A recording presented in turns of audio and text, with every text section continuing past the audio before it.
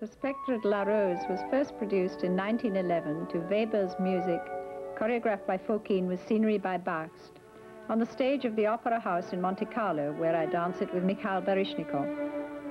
The story is based on these lines from a poem. I am the spirit of a rose you wore to the dance.